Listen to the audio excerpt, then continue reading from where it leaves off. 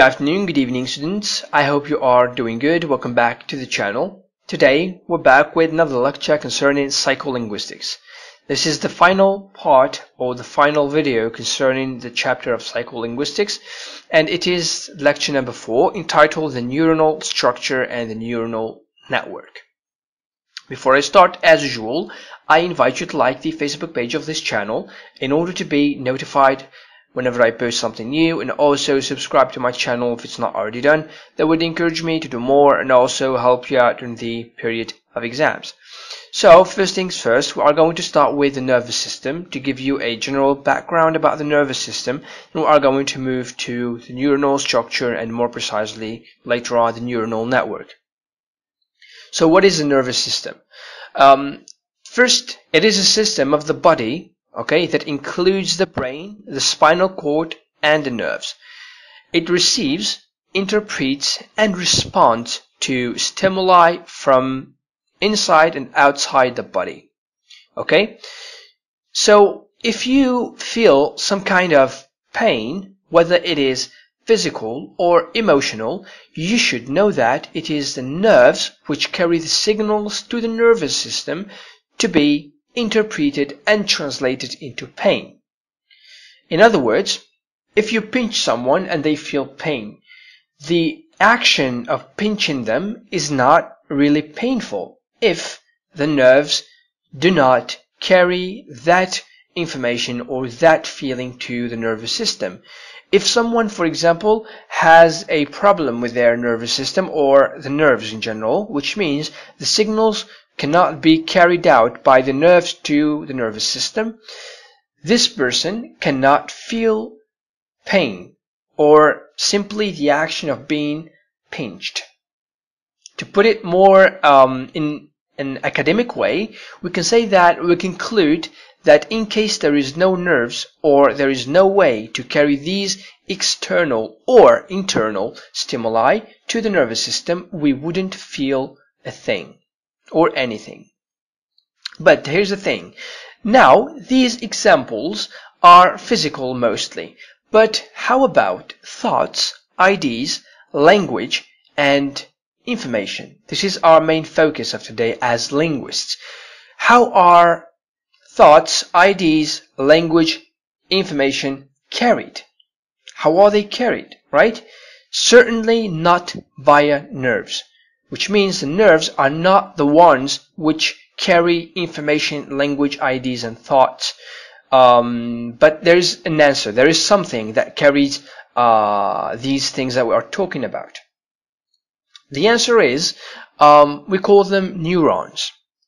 So anything that is painful, physical mostly, is carried via what we call the nerves. But when it's a thought, it's an idea, it's a language or an information, it is carried via what we call neurons. So, what is a neuron? First things first, a neuron is a nerve cell which is responsible for transmitting a nerve impulse.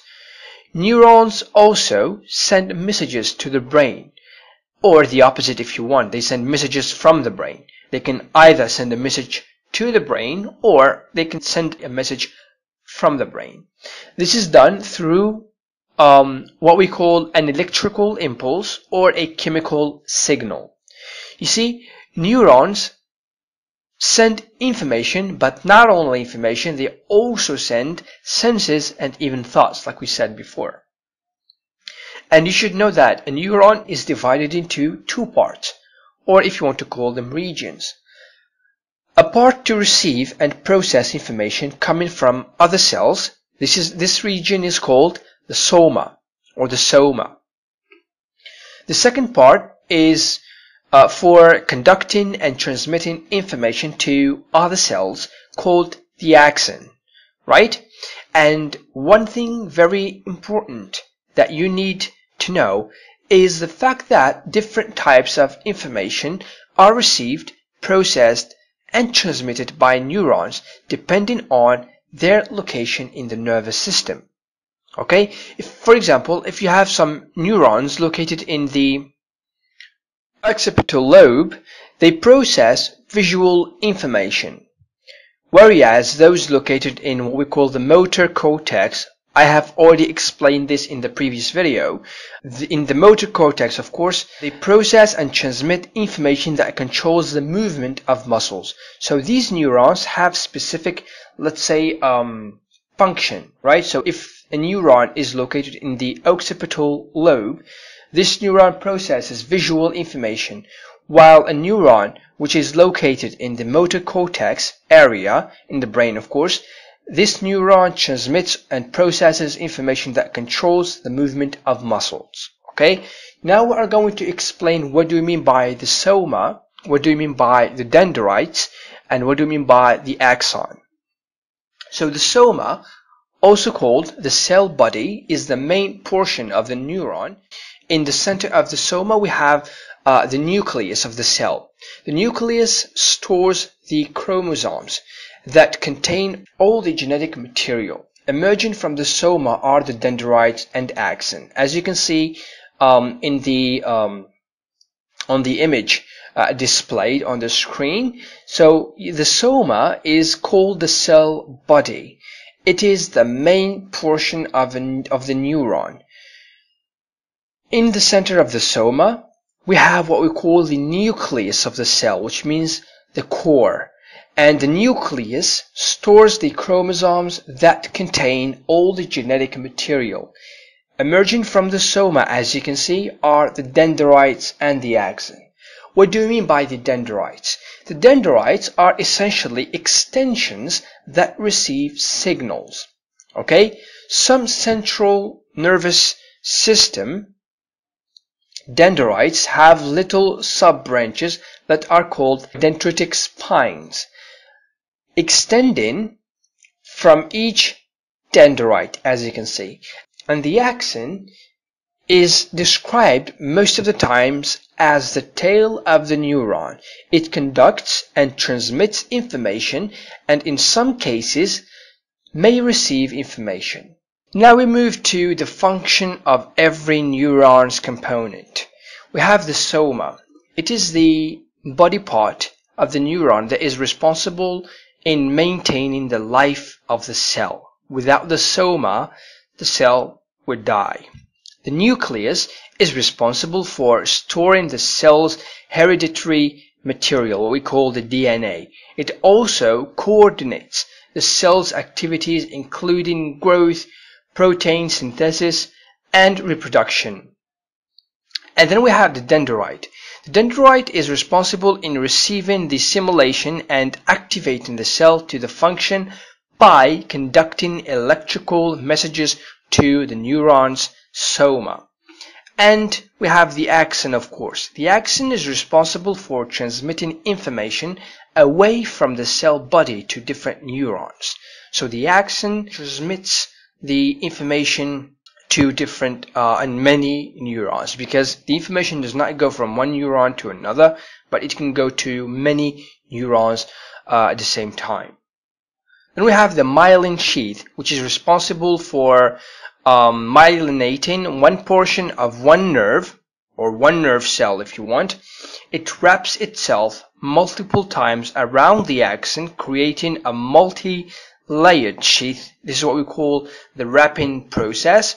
The uh, degeneration of the myelin sheath causes degradation of the neural impulses that are transmitted along the axon, thus degradation of the cognitive functioning. You can find more information about the myelin sheath uh, on a website that we call Britannica, uh, it's, it's, it is a very important and a very useful and practical website.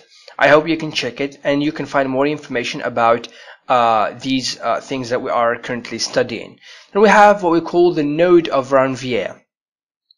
You see, since the nodes are spaced out, they fa facilitate or they make things easy or easier to the rapid conduction of the information, where the signal rapidly jumps from node to node. Then we have what we call the Schwann cell. It supports the nerve generation. If damage occurs to a nerve, the Schwann cell helps in the digestion of its axons. if Schwann cells are prevented from associating with axons, the axons die, of course. So then uh, at the end we have the axon terminal.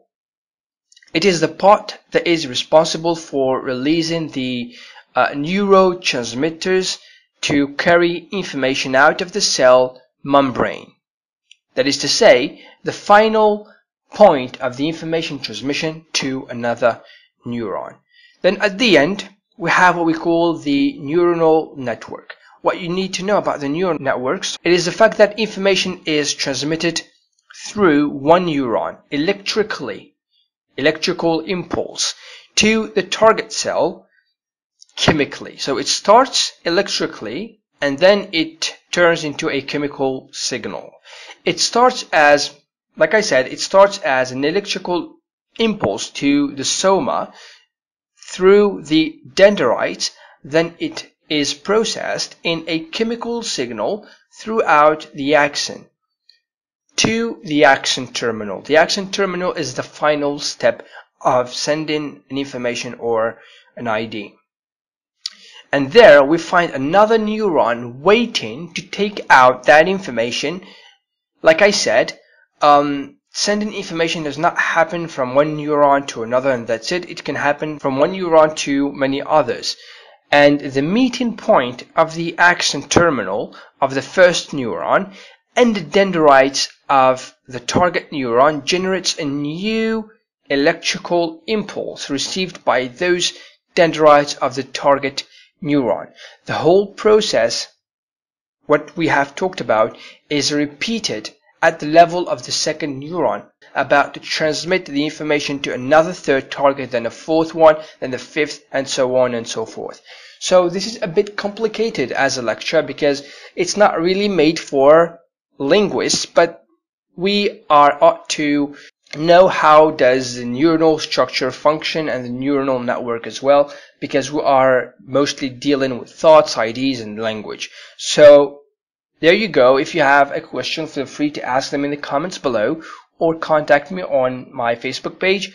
I will answer you as soon as I see your message. Otherwise, I tell you, stay safe. See you in next video. Peace.